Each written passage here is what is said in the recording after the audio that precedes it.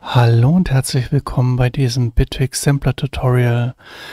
In diesem Tutorial geht es um den Textures-Modus, ähm, der eine gewisse Granularsynthese ermöglicht.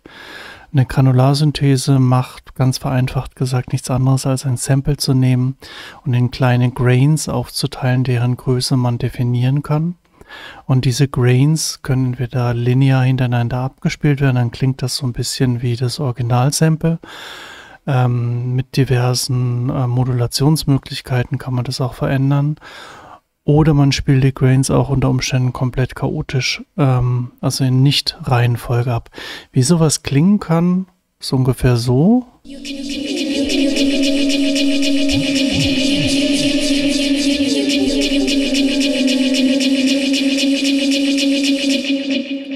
Während das Original so klingt.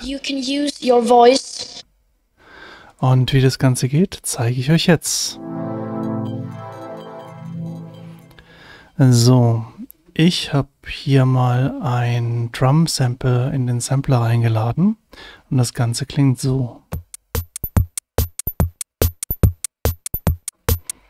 Ganz normaler Drumbeat. Das ist im Repitch-Modus und wenn ich das jetzt im Texture-Modus ähm, einfach abspiele, dann klingt das so. Man merkt, dass es schon so ein bisschen klein sich anders anhört. Nochmal zum Vergleich.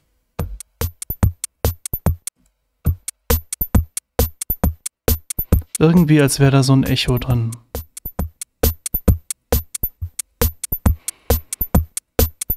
So, und ich habe jetzt hier in dem Sampler, in dem Textures-Modus, das ist der dritte hier unten, habe ich ähm, im Gegensatz zu dem Repitch-Modus wo ich hier diesen Speed-Regler habe, habe ich im Texture-Modus einen Speed, einen Grain und einen Motion-Regler. Der Speed macht nichts anderes, als was ein Speed macht, nämlich Geschwindigkeit regeln.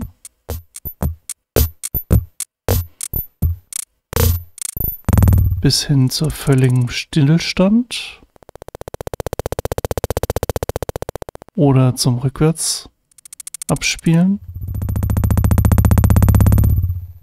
Man hört schon ein bisschen, was passiert. Die Grain Size hier ist auf 65 Millisekunden. Da gehen so die Meinungen auseinander. Es gibt Leute, die sagen, äh, beim Granularsynthese ist die Grain Size 50 Millisekunden, andere sagen 100 Millisekunden. Bitwig bietet hier 300 Millisekunden an, wenn man möchte, variabel einstellbar. Und diese Grains ähm, sind wie gesagt ähm, kleine Einteilung des Samples, also kleine Körnchen. Wenn ich zum Beispiel so ein Körnchen nehmen würde, ähm, er spielt es jetzt hier natürlich linear ab. Ich kann den Play Cursor mal hier hinpacken und versuche mal den Speed auf 0 runterzustellen. Minus 0 geht auch, wie auch immer das funktioniert.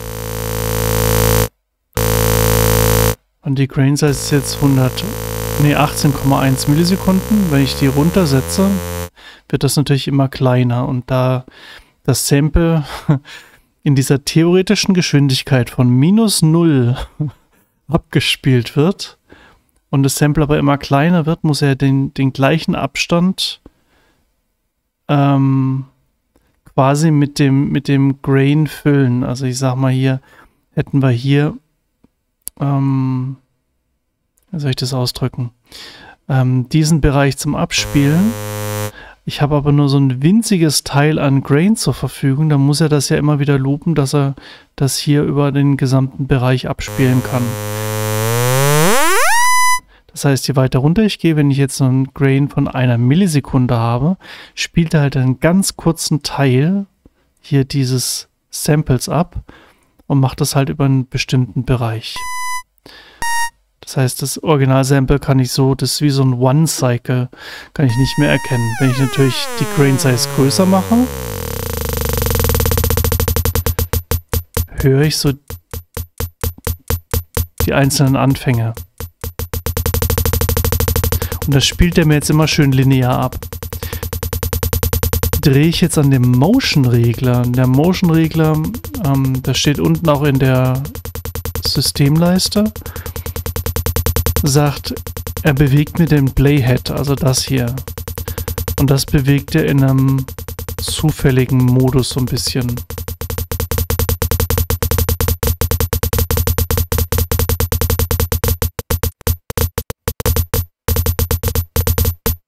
Das heißt, es ist ein bisschen schade, dass man das nicht sieht. Aber jetzt bewegt er quasi in diesem Bereich, sage ich jetzt einfach mal, bewegt er den Playhead-Cursor irgendwo hin und spielt diese einzelnen kleinen Grains ab, die ich hier definiert habe. Das geht auch schneller. Und je kleiner ich die Grains dann mache, desto rauschiger wird das Ganze.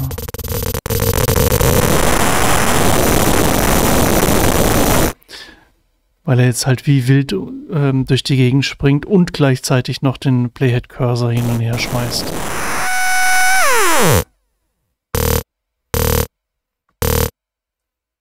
So.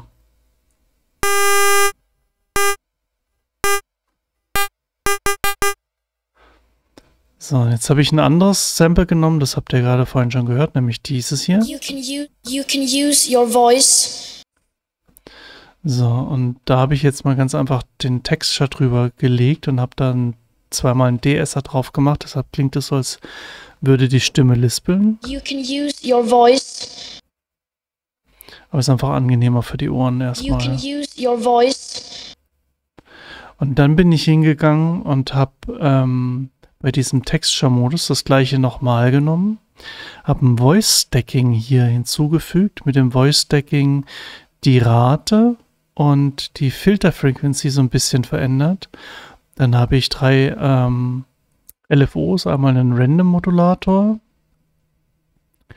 ähm, auf die Grain Size gelegt und einen anderen Random Modulator auf die äh, Position hier und einen LFO, der mir noch den Playhead auch noch zusätzlich bewegt. Und man sieht hier auch schon gleich, wie der sich hier bewegt. Und wenn ich jetzt eine Taste drücke, dann hört sich diese Stimme von eben, die hier, hört sich jetzt nämlich so an.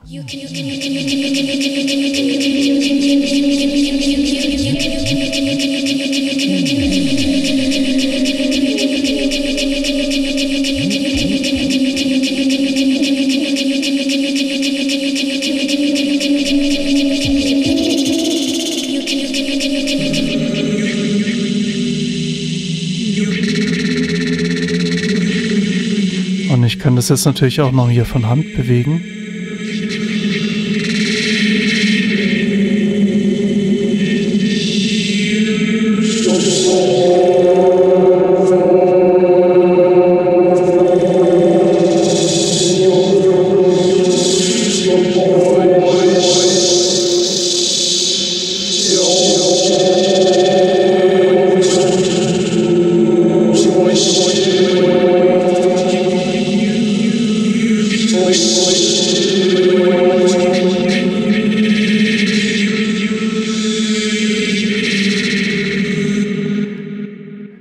Modus eignet sich immer, nicht immer unbedingt zum Spielen, zum Direktspielen.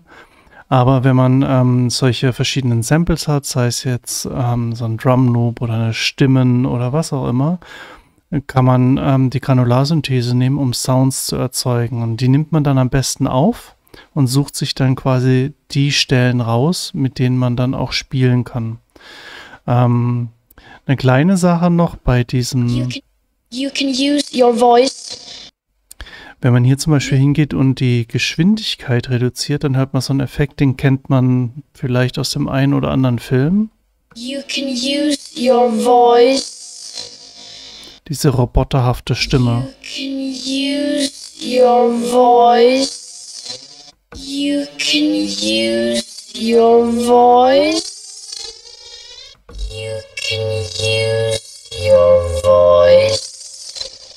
You can use your voice.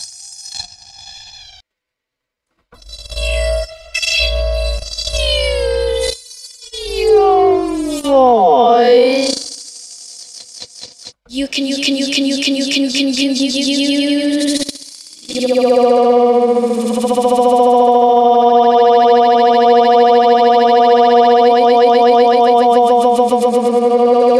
your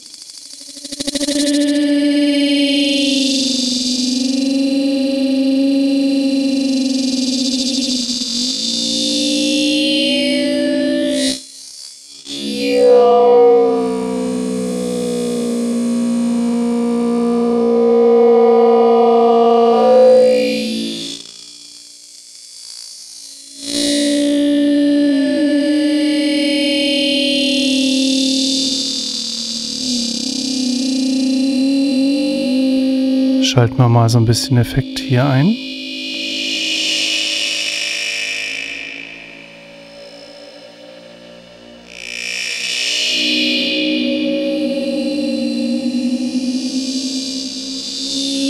Und kleine Bewegungen sind oft besser.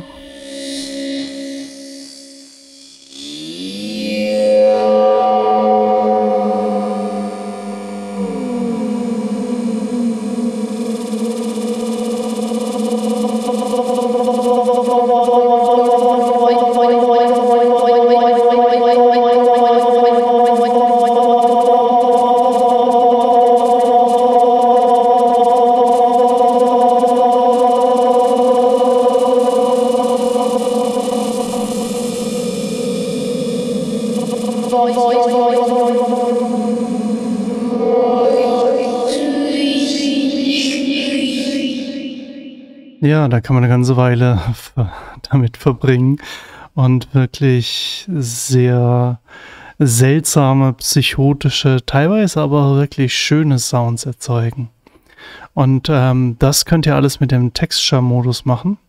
Ich habe hier unten, als ich, äh, das hatte ich nicht erwähnt, als ich den, das alles hier ähm, moduliert habe, habe ich natürlich den Freeze-Knopf ähm, gedrückt damit ich auch hier diesen Playhead tatsächlich modulieren kann. Wenn ich den nicht drücke, wie zum Beispiel hier, dann spielt der, wenn ich die Taste drücke, je nachdem, was ich für einen Speed eingestellt habe.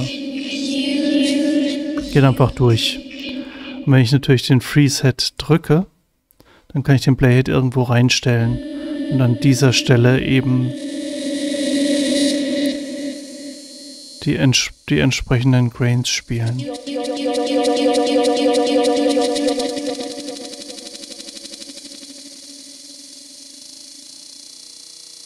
Aber ähm, es hat wesentlich mehr Effekt, wenn man beim Sampler dann das Voice Stacking anschaltet. Es müssen nicht alle fünf ähm, Voices sein.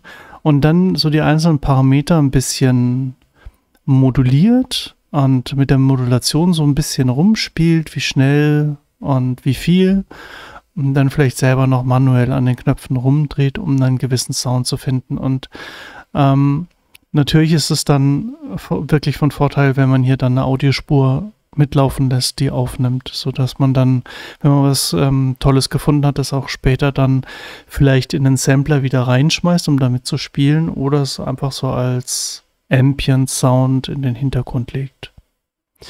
Ja, das war's auch schon wieder. Ich hoffe, ihr habt so ein paar Ideen mitnehmen können und ähm, habt so eine Idee bekommen, was der Textures-Modus oder beziehungsweise Granularsynthese so macht in Bitwig. Und ihr könnt jetzt so ein paar sehr psychotische Sounds erzeugen. Okay, das war's. Ich wünsche euch noch einen schönen Tag. Bis bald. Ciao, ciao.